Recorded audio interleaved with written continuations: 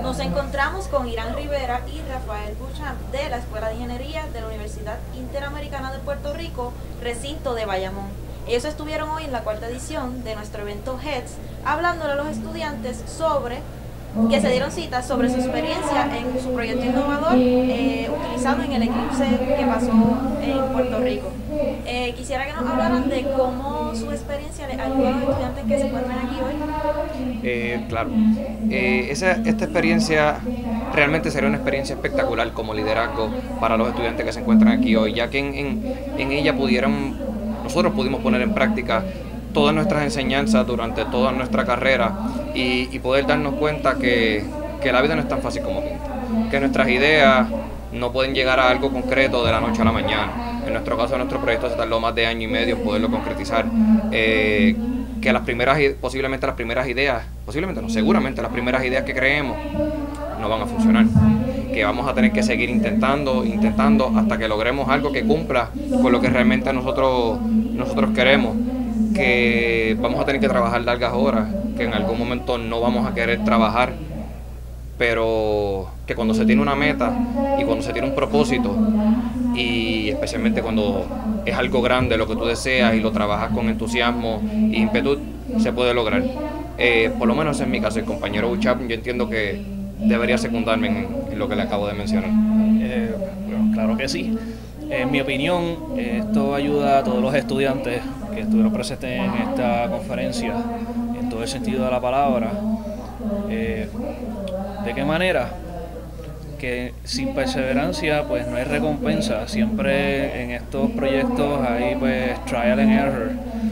Eh, y pues sin importar los errores que se cometan, las fallas que tengan el proyecto, porque nada es fácil en esta vida, pues lo importante es ser perseverante y positivo. Y verán que pues todo saldrá bien. Y, en adición, eh, quiero hacer énfasis que nuestro proyecto no solo fuimos, fuimos estudiantes como Rafael y yo de cuarto año, habían estudiantes de primer año, de segundo año, y había mujeres, habían hombres, era multidisciplinario. Eh, es para que ustedes vean y entiendan que no hace falta ser de una profesión en específico para poder ser partícipe de algo grande en su vida. Es simplemente quererlo hacer.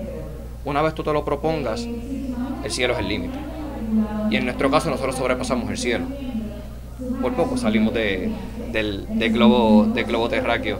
Y realmente nunca se quiten. Esto es una oportunidad donde nosotros, cada uno nos pudimos desarrollar como líderes, como nos estuvieron expresando en la, en la conferencia de hoy, que cada de nosotros es un líder. Y realmente así sucedió. En algún momento de todo este trayecto, cada uno de nosotros tuvo que trabajar como un líder para poder alcanzar nuestra meta ya que hablaron de que habían estudiantes también de primer año en el proyecto. Eso es así. ¿Qué le recomiendan? Porque muchas veces hemos visto esos estudiantes que no se atreven a estar en las cosas. Lo invitan a un proyecto y por miedo, por miedo a fallar, no se atreven. Eso es tenerle miedo a aprender. ¿Por qué miedo a aprender? Porque cuando uno está en ingeniería, eh, la ingeniería es algo que se hace una red de conocimiento, o networking, como le conocemos en inglés en el cual no importando tu nivel de conocimiento, siempre tienes, si, tienes el interés, estás ahí para aprender y aprendes de todos los demás. Nosotros los seniors que estamos a punto de graduarnos, siempre hemos estado dispuestos a ayudar a aquellos que buscan la ayuda y pues en la ingeniería ante la duda no se saluda, se pregunta. Eh, si tienes de verdad que ese hambre de conocimiento, de verdad que busca personas que sepan y únete a estos grupos de como la IEEE y entre otras asociaciones. Eh, siguiendo la línea de Rafael, realmente les puedo decir que el que no lo haga, y en esa parte me incluyo porque yo fui estudiante de primer año y no lo hice, es la experiencia más espectacular que tú puedes tener como estudiante de primer año es abrirte la mente a lo que realmente va a ser tu profesión, a dónde tú la puedes aplicar, porque qué nos sucede a nosotros en nuestras carreras. Eh, posiblemente los primeros dos, tres años no sabemos de qué se trata hasta que pegamos a llegar a las clases de concentración. Y ser participa de un proyecto de esta magnitud donde tú veas donde tú aplicas todos los conocimientos que tú aprendiste durante todo tu año de la, tus años de carrera, eh, te cambia la percepción, inclusive pudieran comunicarse con Anchi, que es uno de los estudiantes, Edward Iván. Para ellos esto fue una experiencia espectacular. Ellos, aunque no, no tenían conocimientos tan avanzados como los de nosotros, pero sí fueron de gran ayuda. ¿Por qué? Porque que tiene una persona que, que no tenga tanto conocimiento, tiene creatividad, creatividad de alguna manera que tal vez puede impulsarnos a nosotros a sacar una idea que tal vez sea concreta y realmente funcione para el proyecto. Y esa es la importancia de tener eh, mentes frescas, mentes nuevas, mentes que no se han entrado dentro de todo este ámbito tan profundo, posiblemente como tengamos Rafael y yo, de mucha matemática, analizamos las cosas tal vez de otra manera por las clases que ya nos han dado. Y ellos no vienen con esa malicia y posiblemente las ideas de ellos nos solucionen el problema que se nos presente en algún momento cabe recalcar también que la ingeniería viene de ingenios, del ingenio, eh, la inventiva.